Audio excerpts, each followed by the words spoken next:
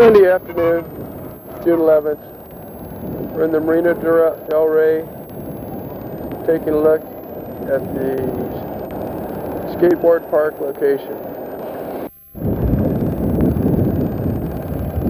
This shows the dirt that we will be removing, approximately 12,000 cubic yards. Two street lights, walk, don't walk signs, bus stop, etc. Now we'll go up to the top of the hill.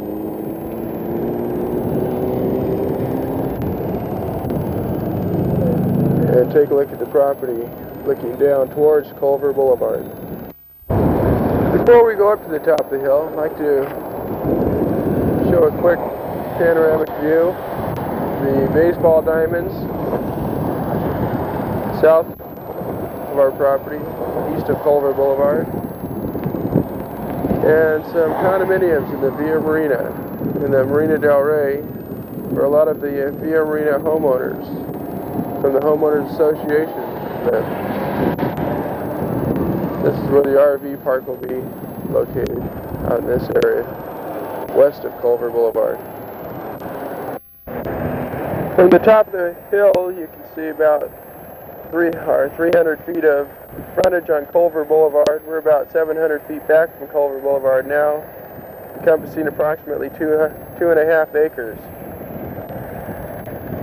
This dirt will be removed substantially to road level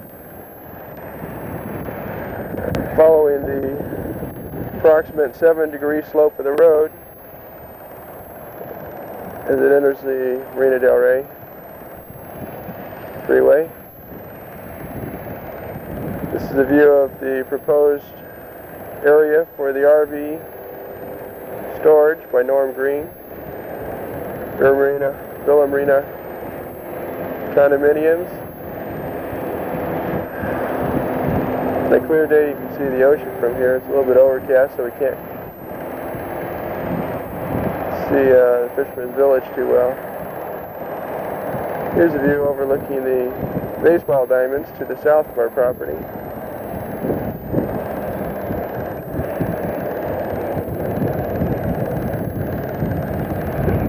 The building will be approximately in this location right about here. Ogden Construction is scheduled to commence work on this project Monday, June 12th, which is tomorrow. First stage will be rough grading, removing all of this dirt down to road level.